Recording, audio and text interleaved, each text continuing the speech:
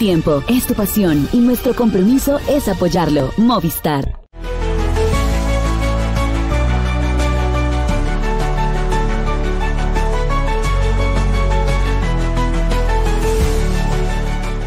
Amigos, ¿qué tal? ¿Cómo están? Bienvenidos a esta edición número 211 de Pendiente Máxima.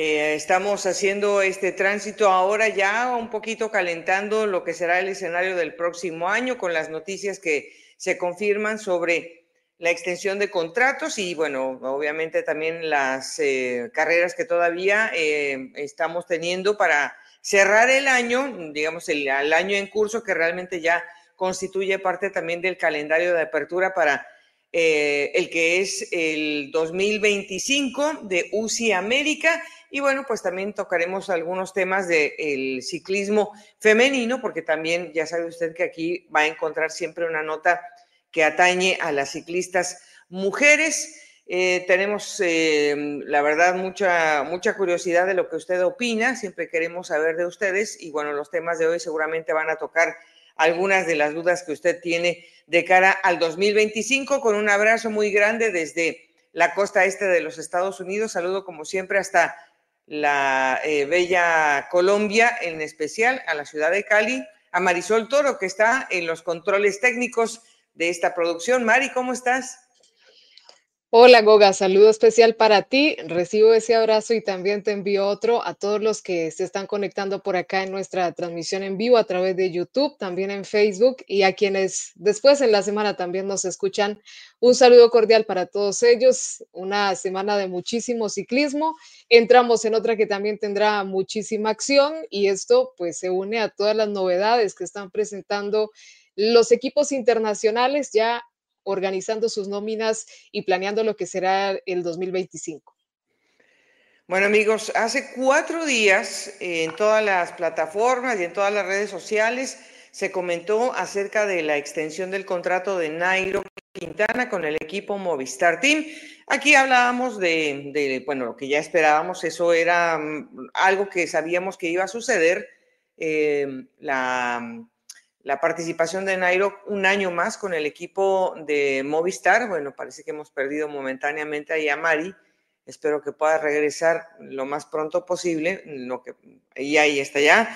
Eh, precisamente las dos eh, fichas que se han renovado para el equipo de Movistar, que son Fernando Gaviria y Nairo Quintana. Son dos, dos corredores que han aportado una, una cuota de veteranía para la escuadra una cuota que espera eh, seguir contribuyendo. Es un pie veterano, los dos corredores ya saben, ya saben a lo que van a un equipo, pero sobre todo, em, más allá de lo que Fernando obviamente pues puede hacer con esta escuadra, que no necesariamente, eh, digamos, está preparado para tener un gran tren, porque ha tenido otros sprinters, hay que decirlo, no son los únicos corredores que, que, han tenido velocidad, porque Fernando es uno de varios que ya han intentado hacer esta misma situación.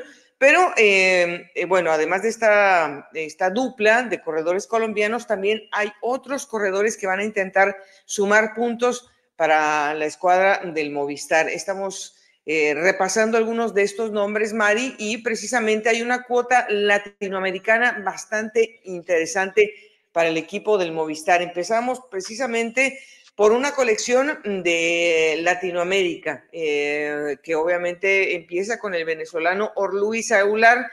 Estábamos esperando que a Orluis le llegara una oportunidad como esta, porque es un, es un corredor que ha aportado una cantidad increíble de puntos, más de 800 puntos sumó para el, equipo del Caja Rural eh, Seguros RGA el año pasado, y es un corredor que aporta muchos puntos regulares en carreras de etapas, pero lo más sobresaliente de Luis Mari son las carreras de un día. Así es, Goga. Además, porque Movistar pues ha cedido o ha perdido a corredores importantes también esta área de la velocidad. Teníamos a Alex Aramburu, que siempre era un corredor que buscaba este tipo de etapas en clásicas, en jornadas un poco rápidas Y también, pues, eh, ha pasado con otros corredores que han venido haciendo parte del Movistar Team. Orluis realmente se merecía esta oportunidad. Nos alegra mucho porque además el ciclismo venezolano va a volver a estar en el World Tour y esto pues hace parte también de un sello de Movistar. Uno mira los refuerzos que tiene para el próximo año y realmente son bastante diversos. Tenemos desde Eritrea, desde Venezuela, desde Ecuador, Colombia sigue siendo un enfoque también importante para ellos. Y mm, hay una base también muy importante del ciclismo español con corredores jóvenes. La llegada de Pablo Castrillo, sin duda, va a aportar también a esa intención que tiene el equipo en la suma de puntos. Y al igual que Orluis Aular, creo que Jefferson Cepeda también ha hecho méritos para tener esta oportunidad que ha recibido de parte del Movistar Team. Em, el Movistar terminó decimotercero en el ranking de, los equipos UCI este año, pero solamente se llevó ocho victorias en el año y una de ellas eh, vino a cargo de, un corredor que llegó precisamente en esta temporada. Estamos hablando eh, de, de, Pelayo, un corredor que ganó una etapa en el Giro de Italia, eh, que además estuvo, bueno, pues siempre muy activo pero la situación del equipo mm, realmente obviamente, depende siempre de lo que pueda hacer a nivel macro un, un Enric más, pero también necesita tener a estos otros corredores con los que estamos eh, eh, hablando en este momento, los que van a aportar esa cantidad de puntos que han podido sumar en otras eh, latitudes, como lo has comentado, como Pablo Castrillo, que lo hizo también con el equipo del Kern Pharma, que también sumó más de 700 puntos con dos victorias en la Vuelta a España. Mm, quizás ahora pues va a tener una perspectiva diferente porque no va, no va a ser lo mismo que corra con el Kern Pharma que corra ahora con el equipo del Movistar. Eh, y esto pues le tendrá una perspectiva totalmente diferente al joven Castillo. Eh, a otros corredores que también estamos observando en esta lista, Está, por ejemplo, Natnael eh, el corredor mm, eritreo, que seguramente va a venir a trabajar. Mm, es un, corredor escalador nato, que seguramente va a venir a trabajar. Y otro corredor que también nos, pues obviamente nos alegra mucho que llegue, porque es colombiano, que es Diego Pescador, que es otro corredor que viene, eh, viene a aprender a, aprender a estar en un equipo World Tour, va a tener tremendos maestros porque estará Nairo Quintana, seguramente va a ser uno de los corredores que, del que va a aprender muchísimo, eh, Mari, pero va, a llegar con una carga muy fuerte, porque tú sabes mejor que nadie cómo es la afición colombiana y cómo es de exigente la, la, pues esta afición colombiana. Ya se le ha explicado seguramente, y Diego lo sabe muy bien, cómo es que va a tener que digerir esta exigencia y cómo es que él va a tener que saber rendirle al equipo y tratar de, mm, pues, de mediar lo que la gente quiere, quiere de él. Sobre todo porque se esperan resultados inmediatos y hay que decir que Diego Pescador incluso es el más joven de la nómina del Movistar para el 2025, con solo 19 años, contando también a otros talentos españoles, pero la mayoría tienen 20, 22, incluso hasta 23 años, entonces es muy joven. Diego Pescador, esta es una década, la que ha pasado, que nos ha dejado muy mal acostumbrados porque no diríamos que los corredores lograron figurar en la primera temporada, pero sí empezaron a mostrar cosas muy importantes y después, pues todo lo que vino en cuanto a historia en grandes competencias, pero siempre es bueno advertir que todos los caminos son diferentes, que todas las oportunidades que se presentan también muy distintas. Creo que Diego también eh, ha trabajado para esta oportunidad y la va a aprovechar al máximo. Como dices, Goga, pues es un privilegio también para él poder tener esa mano experimentada de un hombre como Nairo Quintana, que además va a tener pues también esa solidaridad, por así decirlo, de un compatriota. Y eh, también pasa con Einer Rubio. Entonces, es bueno tener esa paciencia y soltar un poco esa carga que le hemos puesto en los últimos años a tantos jóvenes como el mismo Santiago Buitrago, como Andrés Camilo Ardila, como pasa también con Sergio Higuita, que han dado muy buenos resultados, pero a su medida y en la forma como han llegado también para ellos, porque todas las estructuras también tienen objetivos diferentes. No, lo, no es lo mismo llegar a una escuadra en donde te pueden eh, consentir de alguna manera de, llevarte un poco más tranquilo con un equipo al que le tienes que dar resultados casi inmediatos. Y es que no es que estemos diciendo que el Movistar está en un problema en este momento, porque de puntos no está mal, pero tampoco se puede dar el lujo de, eh, tener un año malo, para nada. O sea, Enric Mas ha dado tremendos puntos este año, 2.876 puntos dio Enric Mas, sumó tremendos puntos este año.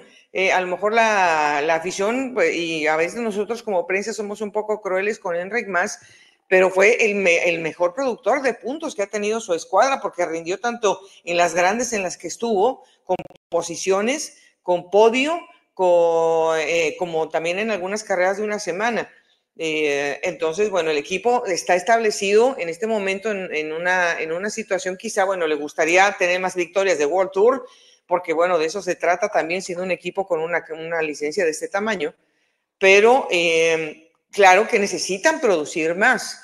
Eh, no están pidiendo los resultados que, tiene un Red, Red Bull Borajas Groja, que también necesita sus puntos y sus resultados, y el misma Lisa Bike, que también eh, para su estándar están por debajo de la línea pero, pero, pero sí, o sea, a lo mejor no le van a dar el tiempo que quisieran a Diego Pescador, a lo mejor Diego va a tener que rendir más de lo que quisiera, pero son, son, eh, son situaciones que, bueno, pues apremian para equipos que tienen una exigencia y un prestigio que defender. Y precisamente en ese tenor está eh, la extensión de contrato de Nairo Quintana. Yo creo que mucha gente va a tener miles de opiniones sobre si está o no está Nairo todavía para tener un año más. ¿Qué te parece si escuchamos a Nairo sobre eh, la situación que tuvo este año y lo que espera de él mismo para el 2025 en estas palabras que nos, eh, nos aporta a través de la jefatura de prensa del team, eh, del Movistar Team y reaccionamos a ellas. Sobre la valoración de esta temporada, es una temporada bonita, hemos podido terminar bien. Tuvimos algunos contratiempos durante toda la temporada, comenzando con un COVID, luego una fractura, una ruptura del ligamento de la, del esternón y luego una ruptura en el cuarto metacarpo de la mano derecha.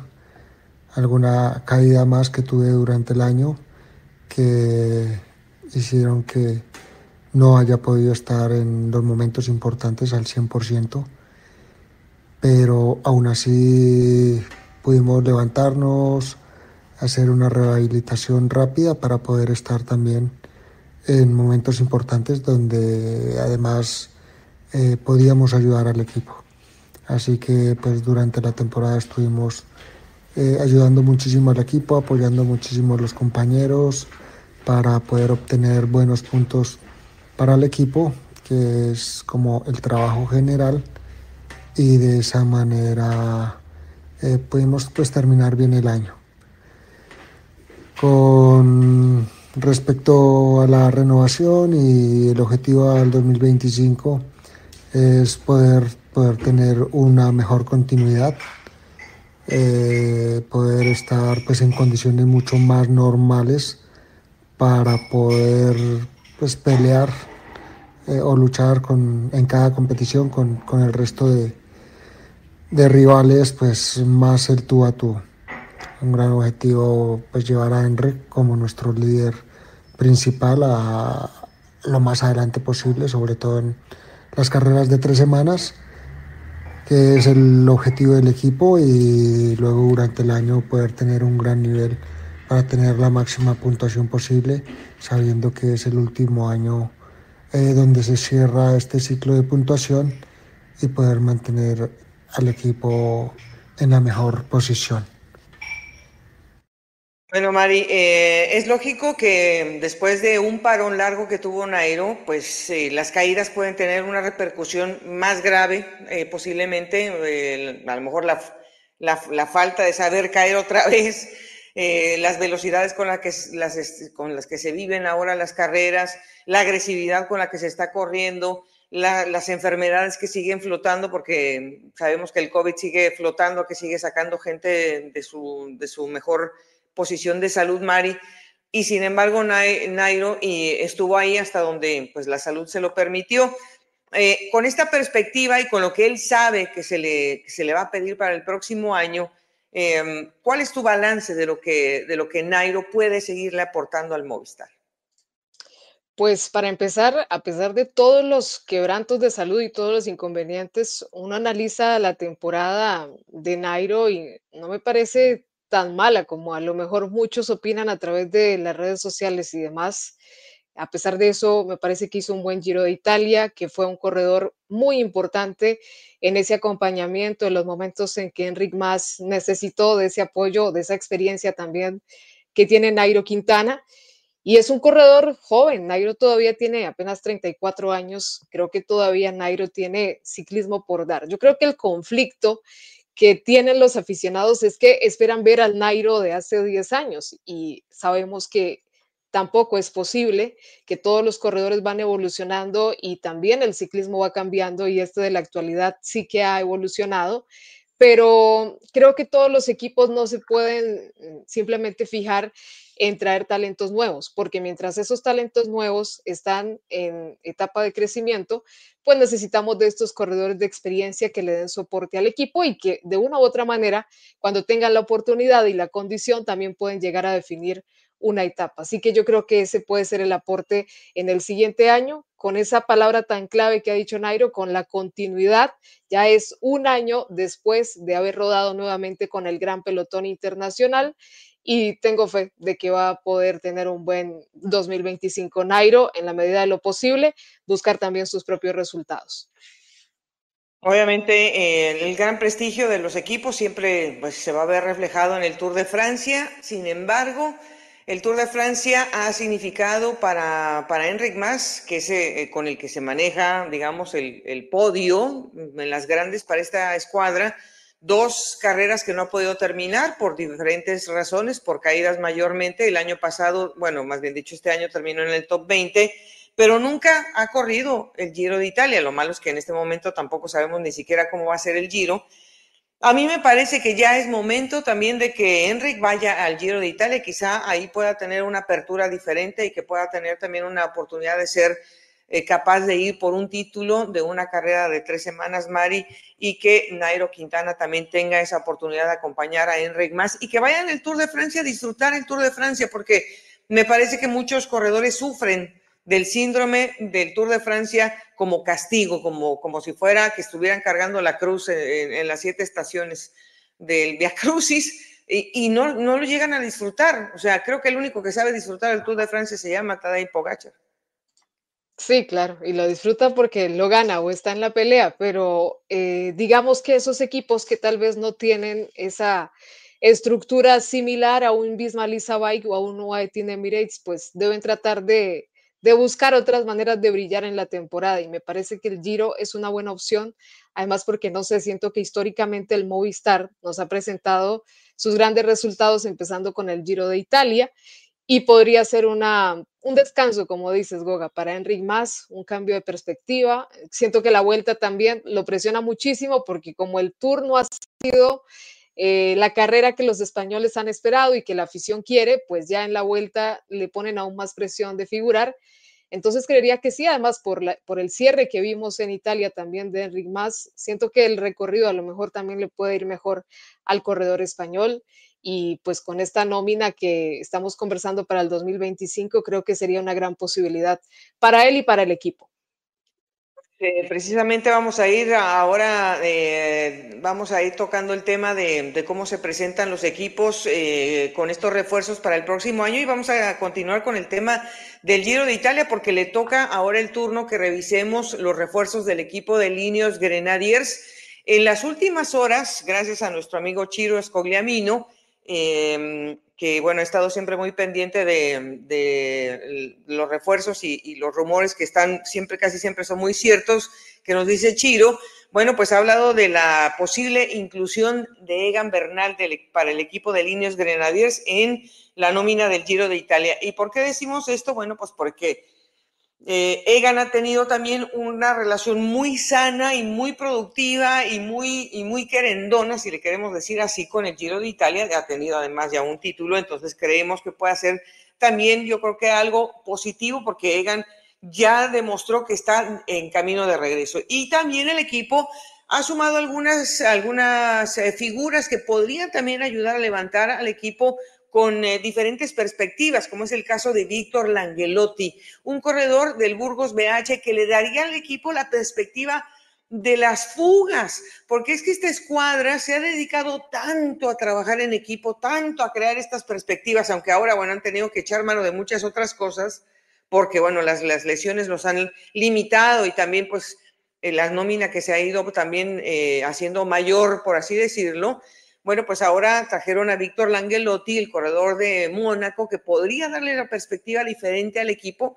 No digo que no, se atrevan con otros otras eh, figuras a hacer las, las eh, escapadas, pero sí le puede dar una, experiencia diferente y en las, y en las em, eh, digamos que en las carreras de, primavera, Mari, con una presencia como la de Axel Lawrence, equipo del francés que, que, estuvo hasta este año con el Alpes Induconic, y jóvenes de 19 años como Peter Oxenberg, que estuvo con el equipo continental Colo Quick eh, de nacionalidad italiana, un corredor de 19 años al que pueden seguir formando, pero que también tiene, digamos que sangre fresca, es un corredor danés que no es británico, aunque ellos han rescatado otro británico que Samuel Jackson, que estaba con el Grupama francés de G, también es bastante joven, es un corredor que pueden seguir formando y que lo pueden incluir también eh, en su nómina, no necesariamente como cabeza de, de eh, digamos que una cabeza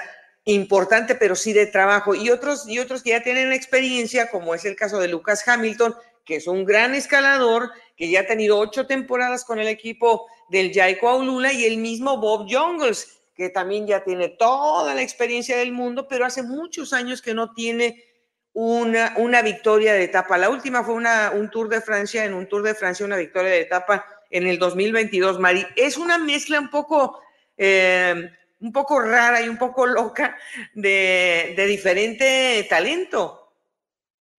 Y eso lo hace muy interesante. Eh, hablábamos también hace una semana de los corredores que van a continuar, de la posibilidad de que Tom Pitcock pues permanezca en el equipo, de otros corredores jóvenes que van a tener esa continuidad. Mm, yo creo que Bob Jungles, a pesar de que no siempre pues ha tenido esa posibilidad de tener victorias de etapa, siempre va a tener un gran aporte desde esa parte también como gregario, es un corredor que puede ser muy versátil para las clásicas o también para trabajar en las grandes vueltas. Me parece o me llama la atención el paso de un corredor como Samuel Watson, porque bueno, bien lo dices, es británico, es un corredor muy joven todavía y puede ser una de esas cartas que también pues empiece a catapultar el equipo en la gran carpa del ciclismo profesional. Y ni qué decir de corredores como Lucas Hamilton. Yo creo que es, es, un aporte muy interesante. Se supone que este ha sido un estudio muy minucioso que ha hecho el equipo también para hacerse a esas fichas que tal vez les falta. Recordemos que ya se fue Luke Rowe, entonces hay que tener también pues diríamos un reemplazo o tener parte de lo que aportaba una ficha tan importante como esa, pero es llamativo, hay experiencia y hay juventud en estas nóminas y en estas contrataciones que ha hecho el Ineos Grenadiers. Eh, bueno, pues eh, digamos que aunque todavía eh, no, pues no está seguro lo que pueda suceder, eh, hacia, dónde se dirigirían los pasos de, digamos que las cartas más importantes de clasificación general.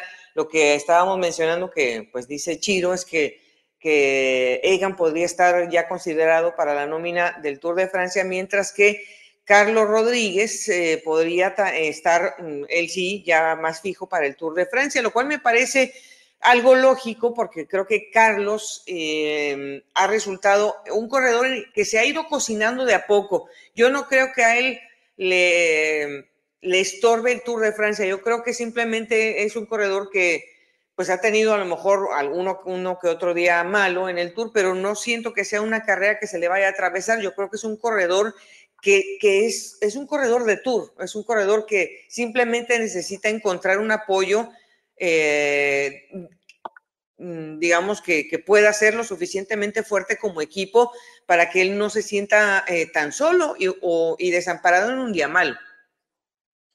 Sí, yo creo que ese puede ser eh, un gran aliado de Carlos Rodríguez también, el, el, crecer, la experiencia, no todos pueden llegar y de una vez estar en el podio, pero por lo que hemos visto ya de Carlos Rodríguez, tiene la capacidad, el coraje, como dices, Goga, de pelear un título, necesita rodearse de buena experiencia. Aquí hay incorporaciones que pueden ser un apoyo importante para Carlos Rodríguez. Y bueno, en algún momento también le escuchábamos a Egan Bernal en una de las transmisiones, Goga, de las grandes vueltas por Caracol, de, de ese camino y de la forma como estaban llevando a Carlos, enfocándolo más en las próximas temporadas. Este año le tocó hacer dos grandes también por ese camino de crecimiento, pero esperaría uno que para el 2025 pues también esa proyección se dé de una manera distinta y mucho más desde esa área del liderazgo.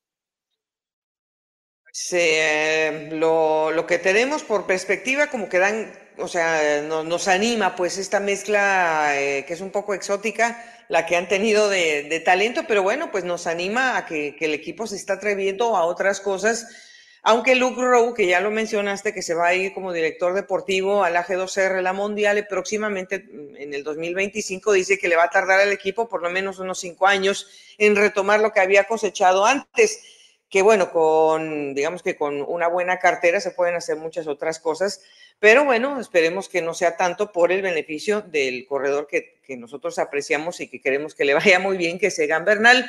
Así que, eh, por cierto, que se armó por ahí también una controversia, Mari, no sé si viste en las redes sociales, de que estaban armando tremendo eh, barullo, algunos porque no supieron interpretar unas declaraciones de Jonas Vingegaard, que decía que él quería tener a Egan Bernal en su equipo y realmente lo que él estaba diciendo, que obviamente él admira a Egan Bernal y que le gustaría tener un corredor como Egan Bernal. Y claro, el día que Egan Bernal no esté en el Ineos, claro que le gustaría tener a alguien como Egan Bernal. Eso pasará cuando Egan ya no tenga un contrato con el Ineos. Sí, que todavía falta tiempo para que caduque ese que aún está vigente. Eh, hemos visto que Egan también pues está contento en la estructura, tiene también la expectativa de hacer un buen trabajo en el futuro y en, estos años que todavía le restan. Pero sigo, a veces se tergiversan un poco esas interpretaciones. Jonas Vingegaard también siempre, pues eh, como un corredor que es diplomático y que también sabe apreciar el trabajo, el perfil de sus rivales, dará siempre un buen comentario y bueno, no hay duda de que alguien como Egan Bernal, pues es un gran trabajador, lo ha demostrado ahora en esta nueva faceta eh, esa labor que ha hecho también de sacrificio y como gregario para sus compañeros, como para el mismo Carlos Rodríguez, que ha sido una ficha importante en las últimas dos temporadas. Bueno amigos, vamos a pasar a otro equipo eh, que tiene también a un corredor latinoamericano que fue eh, además podio en una de las grandes, estamos hablando de Daniel Felipe Martínez y por supuesto del Red Bull Bora Hansgrohe. Un equipo que dio un vuelcazo, porque es que este equipo hizo como una purga. O sea, se deshizo de muchísimos corredores de gran experiencia y le están dando una vuelta increíble al equipo. Se van a traer a Gianni Moscón, que sabe usted que es un corredor muy bueno, pero de repente eh, a veces como que, como que pierde el norte y a veces como que lo tienen que tirar un poco de la rienda. Se trajeron al, al tremendo escalador que es Giulio Pelizari, que estuvo con el BF Group, Bardiani CSF Faisané, se van a traer al gran clasicómano que se llevan del Movistar, que es Oyer Lascano, que me parece espectacular que se lo hayan llevado. Se van a llevar al gran teniente que va a ser en la batalla de Jan Trasny, que es un corredor, que va a ser el gran, el, hombre de confianza que va a tener también, em, eh, eh, bueno, obviamente, em, Primo Roglic, y se llevaron a los hermanos Tim y Mick Van Dyke, se van a dedicar más bien a las clásicas de primavera. Como decíamos, Oyer Lascano estará participando en los eventos de primavera, lo mismo que Lawrence Pitti, que este sí, realmente también es otro corredor que todavía tiene por desarrollar muchísimo corredor neozelandés con el equipo del Grupama francés de Y, que seguramente va a ser tremendo. Y otra ficha que bueno, pues es que ya no sabemos cómo se, se habían llevado casi a todo el talento los del UAE Team Emirates, pero dejaron ir a Finn Fisher Black y se lo llevaron al equipo del Red Bull, eh, Red Bull. Pero Mari, dejaron ir a Emmanuel Bugman, a Maximilian Schachman, a Sergio Higuita, a Lena Arcamna, a Marco Haller, a Mateo Sobrero, a, eh, a John, bueno, eh, César Benedetti se ha retirado, a Anton Palser, que bueno, pues era un corredor, digamos, que rendía, pero todos estos nombres que acabamos de decir los dejaron ir y se trajeron a los otros que no están nada mal, pero es un intercambio tremendo de equipo. Sí, Goga, con los nombres que has mencionado al principio, pues creo que no era para menos porque sí han tenido unas salidas bastante importantes. Diríamos que la gran base, eh, los corredores que cimentaron este camino que hoy los tiene convertidos en Red Bull, Bora Hans Groja, pues están en, las salidas, en las bajas, como Elena Kadma, Emanuel Bugman, todos fueron, crecieron en el equipo, lograron grandes resultados y realmente pues tratar de reemplazarlos o llenar esos vacíos va a ser bien complicado, pero por eso han traído talento tan importante. Me gusta mucho ver a Finn Fisher Black. Me parecía que tal vez en el UAE estaba un poco más opacado, aunque tuvo buenos resultados estando en la escuadra, pero realmente también hizo un gran aporte durante la temporada y es un corredor que puede apostar no solo desde el área del trabajo, sino también para definir etapas y para buscar esas victorias. Oliver Lascano, como ya lo decías, Goga, es un gran elemento. Y ni qué decir de Jan Tragnik, que fue un corredor fundamental para el Bismarck Bike en esta temporada 2024. Me gusta muchísimo. Está muy bueno que ahora tengamos aquí otros corredores del Bismarck Bike. Incluso el equipo decía que lo habían visto crecer, lo habían visto triunfar, pero que ahora era tiempo de que buscara también su propio camino. Así que Primo Roglic también ha hecho ahí su presión seguramente para tener más cerca aquellos corredores con los que tuvo una buena compenetración en el Jumbo Visma en su momento y con los que se va a poder respaldar muy bien para sus objetivos del 2025. Eh, estaba leyendo algunas notas que involucran a los, a los gemelos Van Dyke, eh, que bueno, pues ellos obviamente son clasicómanos, uno de ellos es más contrarrelojista, el otro es un poquito más sprinter, eh, pero tenían tantas ganas de, pues, de poner la cara para, para el equipo del, del Bismarck Bike en la primavera, pero es que había una competencia muy grande con Van Barle, eh, con Laporte, y bueno, había mucha gente ahí, pues no les daban oportunidad. Uno de ellos terminó siendo top ten en, en París-Roubaix y luego lo, lo echaron para atrás porque se había metido por una de las zonas de esas que no se pueden meter en la París Roubaix, ya sabes, en esas zonas que están un poco bloqueadas. Se había metido por ahí unos cuantos metros y lo, echaron para atrás en el grupo con el que entró. Pero bueno, son corredores que tienen esa vena y acá les van a dar oportunidad porque realmente, pues, la escuadra del, Red Bull eh, este año no tuvo realmente más que dos, dos podios. Eh, de tercer lugar con Jordi Meus, eh, fueron terceros en la Gent y con Danny Van Poppel fueron terceros en la Brugge de Pane, pero realmente el equipo tuvo muy pobres eh, resultados en la primavera, así que esperan eh, tener mejores resultados con estos muchachos Van Dyke. Y además se van a reunir con Mark eh, Lamberts, que es preparador y que se lo llevó precisamente Primo Roglic desde el Bismarck Bike, se lo llevó este año y están muy contentos los Van Dyke de poderse reunir con Lamberts aunque por ahí también salió esta semana una nota de que el, nutriólogo eh, de, Primos ha renunciado a, seguir colaborando con el equipo del Red Bull porque es que se sentía muy presionado por el, nivel de resultados que está exigiendo este, este equipo y él no está en este momento para poder compartir esa presión porque también es, es eh, profesor en una universidad de la Gran Bretaña.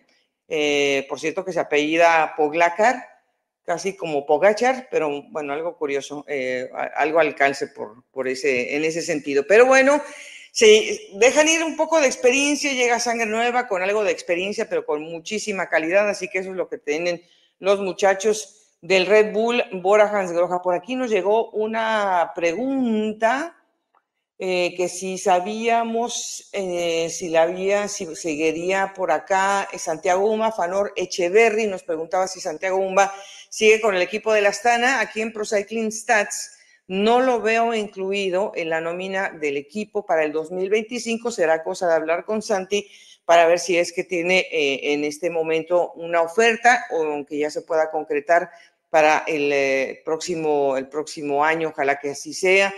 Eh, lo vi que por ahí estuvo durante este fin de semana en el Gran Fondo de, Bogotá, que, estuvo encabezando eh, Egan Bernal precisamente, ojalá que así sea y que tenga, eh, digamos que ya futuro asegurado para el 2025, porque es demasiado joven para no tenerlo.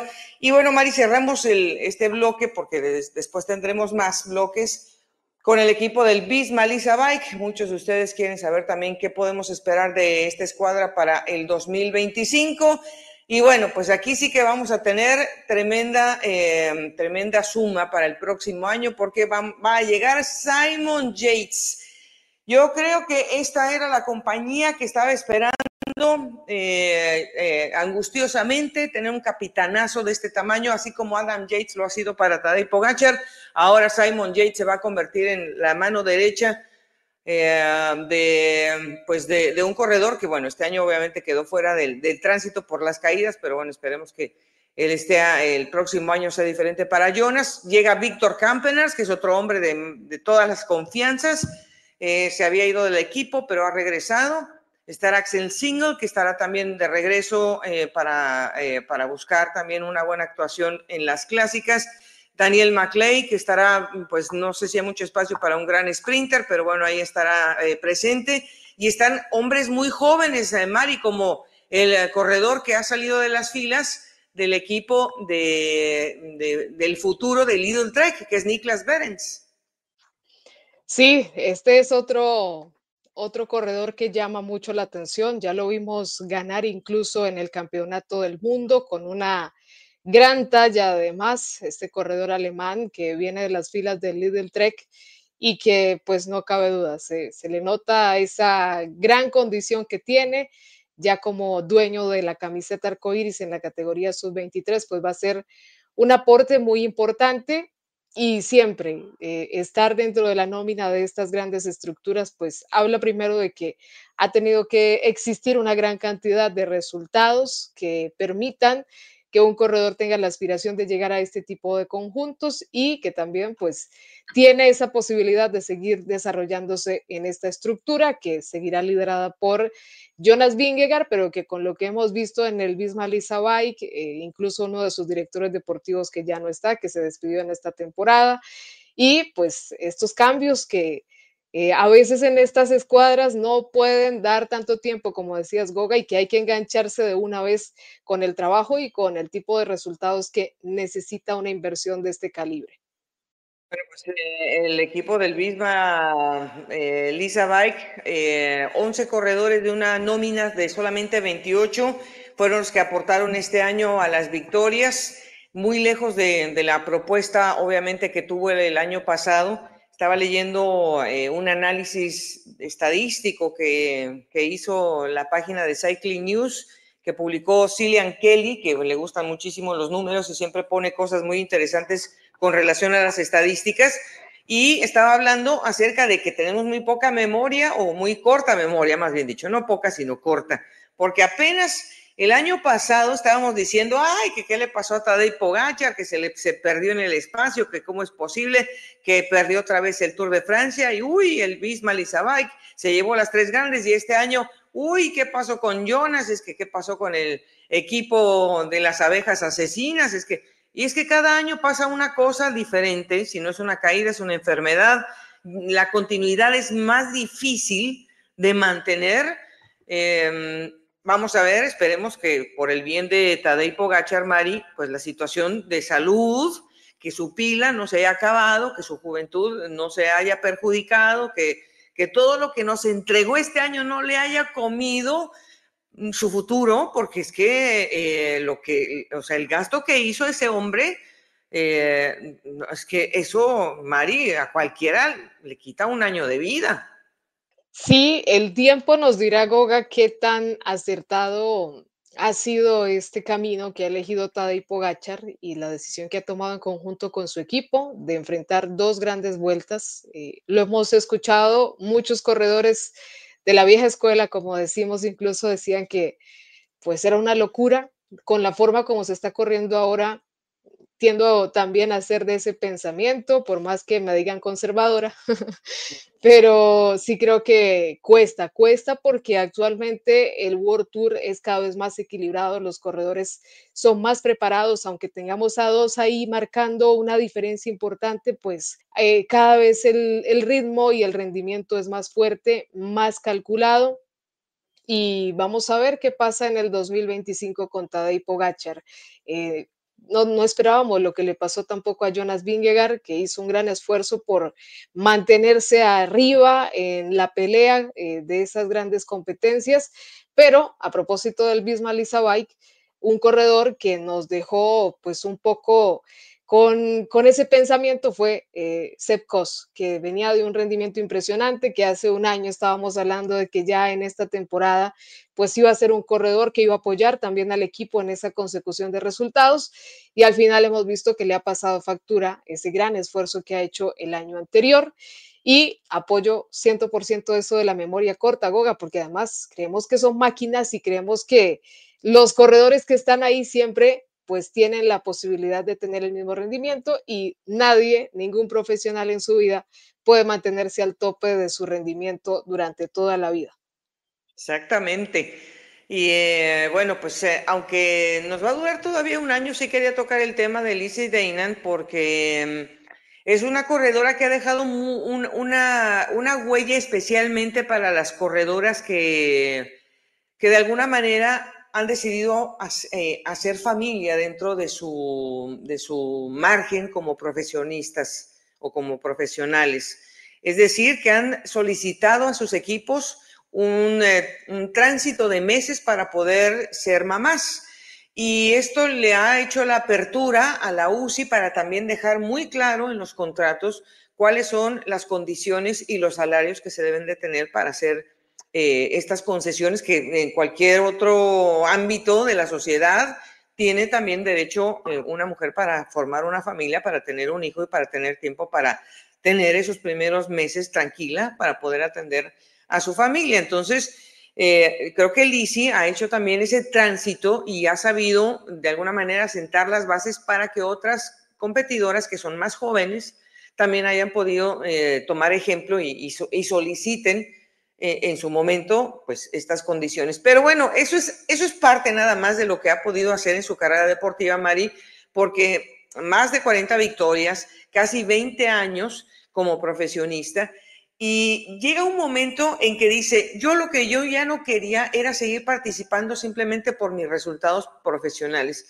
Hace unos días estuvo en un evento de, una revista eh, en, en Europa y ella dijo, es que yo ya no quiero extender un contrato simplemente porque quiero buscar un resultado para mí. Me convenció el, el Lidl Trek con, con, un año más, o sea, el 2025 y después yo cuelgo la bicicleta porque me convencieron para ser la capitana del equipo, para poder ser la mentora de otras generaciones. Y por eso la convencieron, Mari, para que se quedara un año más, mm, porque ella ya tiene Mm, coronas que le va a costar mucho trabajo a otras tener, como, la, como los títulos de, los tres monumentos que tiene el ciclismo femenino, por ejemplo. Sí, fue realmente o ha sido una corredora muy destacada también. Bueno, el ciclismo femenino en Europa mm, exige que las corredoras sean grandes clasicómanas. De hecho, casi siempre rinden más en este tipo de apartados que en de las grandes vueltas que apenas se han venido estructurando con varias etapas y con grandes puertos. Y ese es un legado muy importante, Goga, porque me parece que el Lidl Trek, aunque es un equipo que pues tiene la presión de dar resultados, ya incluso ha tenido algunas proyecciones importantes, está generando una base muy, muy grande de corredoras jóvenes que ya traen muy buenos logros pero que van a tener el tiempo y la posibilidad de seguirse formando en el equipo, eh, viendo el ejemplo no solo de Lizzie Deignan, sino de una corredora como la italiana, que este año ha sido campeona del Giro de Italia, Elisa Longo Borghini. Entonces, están generando una muy buena sincronía entre esa experiencia, entre las corredoras que ya han tenido grandes logros, pero que necesitan también ese momento para seguir creciendo. Y me gustó algo que dice Elizabeth Deñán Muchos dicen que te debes retirar en el tope de tu carrera cuando estás logrando los máximos resultados. A ella eso ya no la desvive, ella ya ha logrado lo que se ha propuesto en el ciclismo y ahora más bien busca tener o ser ese apoyo para las nuevas figuras del Lidl Trek en la temporada 2025. Me tocó, me tocó verla eh, triunfar en Richmond, en, Virginia, cuando fueron los campeonatos del mundo aquí en los Estados Unidos. Em, en el 2015, además, bueno, pues a ella le tocaron también muchas tribulaciones porque hace, no muy, no hace muchos años todavía, eh, los equipos estaban flotando, no se podían consolidar, se rompían los contratos a la mitad de, de la temporada, se desbarataban los equipos a ella le tocó ese tránsito dos veces, sus equipos se desbarataron y finalmente se pudo consolidar con el, em, eh, con el Boelmans, eh, Dolmans, Dolmans, con quien después pudo fructificar también ese título del mundo en el 2015. Tuvo también otras lesiones, tuvo también eh, una llamada de atención muy fuerte, Mari, em, porque faltó en tres ocasiones a una visita de em, eh, pues de, una, eh, de un sistema de, control antidopaje que, que, que, van a la casa, porque es un sistema que tienen que cumplir todos los corredores con una visita domiciliaria, tú tienes que decir dónde estás en todos los días, a todas las horas como corredor, y faltó en tres ocasiones a esta, a esta visita que le hicieron, una de ellas la pudo justificar como un error administrativo por parte del sistema, pero eso pues la, dejó un poco tocada y manchada y, ella ahí está muy inconforme con esa situación porque pues no quiere que la recuerden como algo que la podría haber suspendido cuatro años de su carrera deportiva. Sí, este tema es bien delicado porque, bueno, cada vez sabemos que los controles son más estrictos, que no hay posibilidad de evadirlos y que si es el caso, pues sí se, sí se queda ahí un poco con esa mala imagen de, de tal vez no ser ese ciclista o ese atleta limpio en materia de dopaje. Pero bueno, pues aún así creo que todos estos años de grandes resultados y de gran experiencia para ella, pues han demostrado que es una atleta también muy sacrificada y que es una profesional en su deporte. Y ahora no queda más que las corredoras aprendan ese buen ejemplo y sigan también ese camino de Elizabeth Deñán unas ya se quieren ir y otras quieren regresar, porque recordemos, Goga, que tenemos el próximo año también el regreso de quien ahora se eh, dirige a Liz. Wars o es una de esas fichas claves también desde la dirección del equipo. Ana Vandenbregen, yo tengo una palabra que, bueno, luego vamos a hablar de ese tema porque yo sí tengo unas cuantas palabras que ofrecer sobre ese tema, pero lo vamos a tocar después. Lo único que quiero decir antes de pasar a nuestra siguiente fase para cerrar el programa es que si hablábamos de ataques de larga distancia, pues que se paren primero y que saluden primero a Lisi, porque ¿se acuerdan cómo ganó la París-Roubaix, la primera edición de la París-Roubaix de las damas, Mari? Un ataque de 80 kilómetros en solitario, ¿te acuerdas? Sí, es que ahora, ahora elogiamos mucho a Tadej Pogacar y a Renko Benepol, pero en las damas lo hemos visto varias veces. Ese de Elizabeth Deñán y el campeonato del mundo de Annemiek van Vleuten también. Así para mencionar solo algunas. Así es, para que no, eh, sí, porque medimos siempre por este lado, pero de este lado ya las cosas estaban, se estaban cosechando de, hace mucho tiempo así. Bueno, vamos a invitar a nuestros eh, amigos de Fundación Gero para que nos abran la puerta de, nuestro siguiente tema. La Fundación Gero trabaja para fomentar la seguridad vial para ciclistas y con el patrocinio de escuelas de ciclismo donde se forjan los próximos campeones del ciclismo colombiano. Más información sobre nosotros en www.fundaciongero.org. Bueno chicos, vamos a pasar a los resultados y a una previa que toca el territorio ecuatoriano. Obviamente se cerró eh, la, edición del 2024 de la Vuelta a Ecuador. Tenemos aquí también muchas referencias, a muchos de ustedes estuvieron pendientes de estos resultados. Tenemos algunas imágenes que tomamos eh, cortesía de lo que publicó la Federación Ecuatoriana de Ciclismo y bueno, eh, estamos obviamente muy asombrados, Mari, de cómo poco a poco el equipo del Movistar BSPC fue tomando en sus manos la carrera, porque Oscar Sevilla se defendió por dos días, luego vino eh, Raúl Obando para, para manejar sus opciones y finalmente el equipo decidió poner sus opciones con Richard Güera en la etapa reina. Siempre fueron muy pocos los segundos, pero sobre todo eh, Brian Obando se mantuvo en un empate literal con Oscar Sevilla por dos, por tres etapas, María, hasta llegar a la etapa reina. Pues Goga, hablábamos hace una semana, después de lo que había sido esa primera etapa, que hoy, una vez concluida la carrera, pues eh, sabemos que fue crucial esa fuga del primer día fue bastante determinante, sobre todo para catapultar a quienes estarían peleando por el podio. Y en esa primera fuga, el Movistar Bets PC, que venía con un gran ritmo de la vuelta a Guatemala, pues involucró a tres de sus mejores fichas, a Byron Guamá, a Richard Huera y a Brian Obando. En su momento, Brian estuvo eh, vistiendo esta camiseta amarilla de líder y sería solo hasta la etapa reina que ya la anticipábamos la semana pasada con esos, esa cantidad de metros de desnivel positivo, donde veríamos ya la consecución definitiva de esta camiseta amarilla para Richard Huera, un corredor que siempre se ha destacado como gregario para su equipo, ha sido campeón nacional, ha obtenido otros logros importantes, pero que en esa etapa reina resultó siendo el corredor más fuerte de las tres fichas que había involucrado el Movistar Bets PC en esa fuga y al final pues resultó siendo el más fuerte que todos frente a Oscar Sevilla del Team Medellín que llegaba con un gran favoritismo y también frente a Nicolás Paredes del Inno One La Red Suzuki, el equipo guatemalteco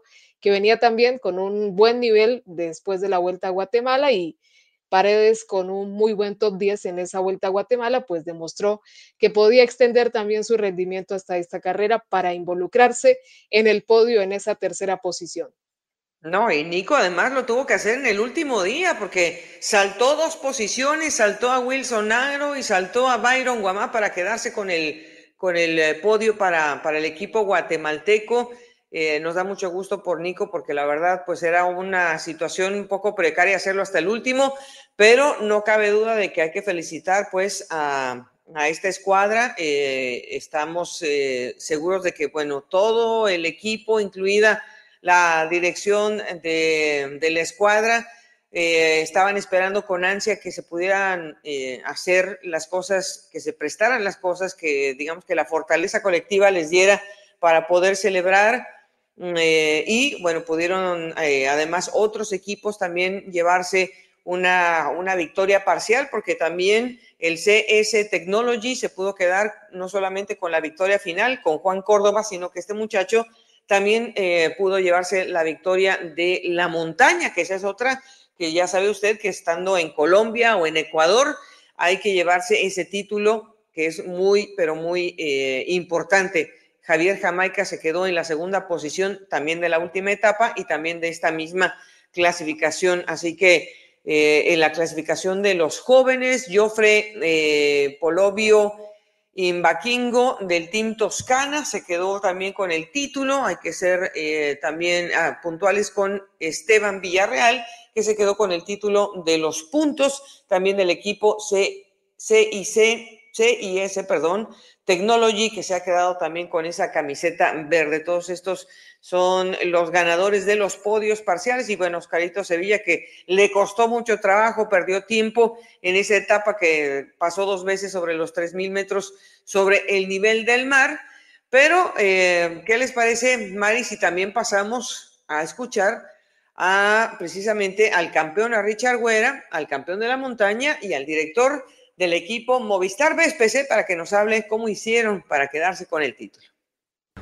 Eh, una felicidad que no podría describirla, eh, un agradecimiento a todo mi equipo, ¿no? a todos los que conformamos la familia de Movistar BSPC, tanto como corredores, staff y patrocinadores. No, bueno, no, eh, creo que venía en una gran forma, ha sido mantener la calma todo el día, el equipo ha sido fundamental. Eh, agradecerles a todos, a Santiago que se ha dejado todo por mí en la última ciudad de Culebrillas. Creo que sin ellos habría sido imposible conseguir este título. Sí, sí, no. Eh, ayer abrí un, bastante tiempo con, con Oscar en Cuicocha. Eh, tenía ese margen. Y bueno, no, al final creo que he sabido manejar esa presión y he conseguido este título.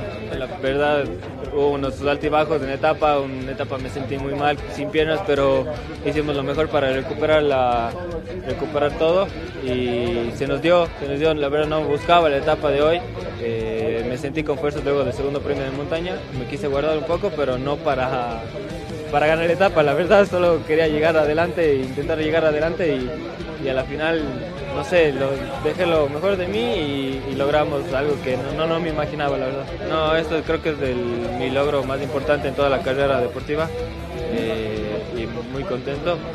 Yo creo que toca seguir entrenando muy duro, eh, concentrarse más e intentar lograr objetivos más grandes. Ojalá se dé. Sí, ojalá se dé.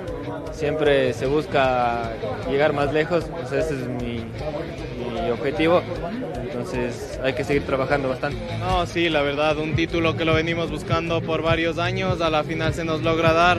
Eh, para complacer y tener tranquilos a nuestros patrocinadores y impulsar a la empresa privada que se siga sumando a apoyar estos proyectos de ciclismo que son muy importantes. No, para este título lo más complicado, la verdad que ha sido el tema del cambio de fechas, pero a la final los corredores llegaron en muy buena forma y es lo que nos tiene tranquilos y ahora alzarnos con el título. Sí, la verdad que el Movistar estaba muy atento en la jugada. Desde el primer momento, desde la primera etapa estuvimos dispuestos a pelear la carrera y ahí se pudo marcar diferencias y hasta el final poder llegarlas con ellas. Sí, es mucho más fácil estar por delante y saber cuidar esa diferencia que tienes a que estar por atrás y tratar de descontar una diferencia. Sí, Byron es un hombre de mucha experiencia, un hombre que aporta muchísimo al equipo y a la final es muy importante para poder alzarnos con este título. No, la afición que se siga sumando, que sigamos apoyando al ciclismo. El ciclismo sigue creciendo, vemos que tenemos talento y a la final eso es lo importante. Bueno, Mari, se cierra ese, ese, capítulo, pero ya no tarda en volverse a abrir la carretera para las damas y para la categoría juvenil otra vez en Ecuador. Esta semana del 20 al 24 de noviembre vamos a tener esas dos competencias, por eso el lema de la Federación Ecuatoriana de Ciclismo, se vienen las vueltas y después de la vuelta grande de mayor tradición, pues comienzan también esta participación de las damas y también de la categoría juvenil. Van a tener cuatro etapas, eh, Goga, tanto los varones como las damas y vamos a tener esa posibilidad de ver también a grandes contrincantes en el área femenina. Miriam Núñez, que sin duda pues es una de esas grandes exponentes del ciclismo ecuatoriano, va a estar presente en esta competencia y qué bueno que el ciclismo femenino también tenga esta oportunidad en territorio ecuatoriano. Estaremos pendientes para que la, la, otra semana podamos tener también algunas imágenes y tener también esos resultados. Queremos también agradecerles a todos los que nos han mandado mensajes porque también algunos de ustedes nos han mandado precisamente eh, detalles sobre estos eventos que vamos a tener en puerta. Roberto Carmona nos manda saludos desde San Félix Caldas. Eh, William Huerta, Celso Chávez, Roberto Díaz desde Ciudad Cerdán, Ana eh, María Isaza, eh, Rodríguez, Ariel Batzibal, que casi siempre nos manda un saludo, Marco, José Peña nos manda también otro saludo, eh, Julián Coral, que nos, nos, hablaba precisamente acerca de este evento del 21 al 23 de noviembre con la presencia de ciclistas de Ecuador y de Colombia. Nos dice Julián que dice que Jenny y Lorena Colmenares estaría participando. Nos daría mucho gusto saber. Teodoro, desde México nos manda un abrazo igualmente. Panor Echeverry dice eh, que si podemos hablar algo sobre el contrato del profe Saldarriaga. Hombre, pues no sé si Fer, por ahí estaba leyendo eh, que, que, alguien dijo que de un contrato a nivel internacional. Pues no sé, ¿has escuchado algo, Mari? Pues Goga, la verdad específicamente no, pero sí he visto algunos rumores. Nos encantaría, por supuesto, ver al profe dirigiendo nuevamente eh, después de lo que fue ese paso exitoso por el Manzana Postobón, pero en cualquier momento vamos a dejárselo saber también a través de las redes sociales. Hombre, pues eh, le, estaremos poniendo ahí un telefonazo a, a Fer para que nos diga a ver qué está pasando. Nos encantaría, por supuesto, esa noticia. Eh, Nathan Calderón desde Boston, hombre aquí vecino, no muy lejos. Eh, Hermelindo Ramos, Néstor Fabián Ramos también, muchas gracias desde Uruguay, nos está mandando un saludo. Bonel López, desde Pergamino, Argentina, amigos, hasta Argentina, un abrazo como siempre muy fraterno. Juan Marulanda, eh, Kenneth Chávez desde Costa Rica, que ya se están calentando motores por allá también. Eh, Millán desde la ciudad musical, o sea, desde Ibagué, que nos tienen siempre presentes por ahí. Raúl Reyes, Juan Pablo Santos desde Chicamocha, que nos tienen siempre presentes. Rafael Ayala desde Puerto Rico, hombre, un abrazo también muy grande. Alonso Cardona también de eh, Imagué, eh, desde Ibagué. Eh, Gonzalo Alf, que siempre también nos manda un saludo. Lindon Cruz desde Potosí, en Bolivia. Juan Pablo Santos, Luis Granados, bueno, aquí nos están mandando los últimos. Jorge Portacio desde Sucre, Tierra de Paz. Y Rafael Ayala, que nos manda saludos siempre de los, mejores, dice Luis Granados, ¿cuál es la razón para que Don Mi Bolerín cambie de equipo y para cuál equipo se iría? Tendrá que ser la razón de, ¿será Mari lo que estábamos hablando hace rato? Pues eh, ya veremos, pero bueno, es que Demi Bolerín, Goga, eh, hemos sentido que no está muy contenta tampoco en el Easy Works, después de lo que vimos en eventos como el Tour de Francia. Tal vez quiere sentir que es realmente la líder del equipo y bueno, está en todo su derecho después de lo que ha conseguido. Eh, sí, porque si además llegan a Van den Breggen, entonces esto como que, bueno, eh, como es que si eso parecería novela, si ya de por sí va a ser novela estando en un equipo diferente, pues ya se imaginará usted cómo se pone la cosa si estuvieran en, el mismo equipo. Pero de eso ya vamos a hablar más largo y tendido porque la verdad sí está muy bueno. Está muy bueno ese cuento. Bueno, Mari, nos tenemos que despedir, pero mira, otra victoria más. Líderes de división. Así que ahí, ahí vamos, Mari. Yo sé lo que Goga disfruta estos triunfos. Lo he visto personalmente. Sí. Así que, a celebrar. Sí, lástima que ahora mm, la otra persona con la que yo vivo no, está un poco triste porque van, no creo que puedan ganar los otros aquí hoy. Ah, bueno, bueno, ahora viene el sufrimiento, Goga. el pobre marido va a sufrir con sus cowboys, pero pues, ¿qué le vamos a hacer? aquí está el hombro para llorar. bueno, bueno, ya está listo, eso es lo importante. Pero va victoriosa Goga y creo que así va a llegar hasta el final de la temporada. Bueno, Mari, nos vemos la otra semana y muchas gracias a ustedes por, por compartir sus minutos tan valiosos con nosotros. Hasta la próxima. Muchas gracias.